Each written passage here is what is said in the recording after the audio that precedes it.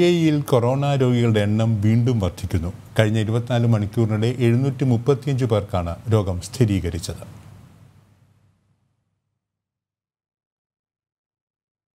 U എയിൽ കഴിഞ്ഞ ഇരുപത്തിനാല് മണിക്കൂറിനിടെ എഴുന്നൂറ്റി മുപ്പത്തഞ്ച് പേർക്ക് കൊറോണ സ്ഥിരീകരിച്ചതായി ആരോഗ്യ രോഗ പ്രതിരോധ മന്ത്രാലയം അറിയിച്ചു.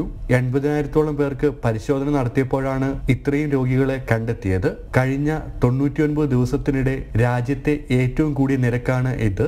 മെയ് ഇരുപത്തിയേഴിന് എണ്ണൂറ്റി എൺപത്തിമൂന്ന് പേർക്ക് രോഗം സ്ഥിരീകരിച്ചതാണ് ഇതിനു മുൻപത്തെ ഏറ്റവും ഉയർന്ന പ്രതിദിന കണക്ക്.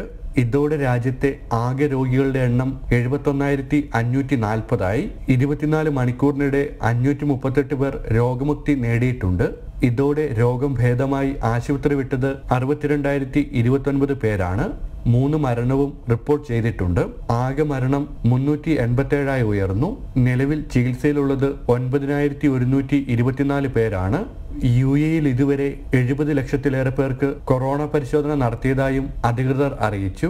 കഴിഞ്ഞ ആറാഴ്ചക്കിടെ മുപ്പത്തിയൊന്നായിരം പേർ കൊറോണ വാക്സിൻ പരീക്ഷണത്തിന്റെ മൂന്നാം ഘട്ടത്തിൽ പങ്കെടുത്തു. ജനം ദുബായ്.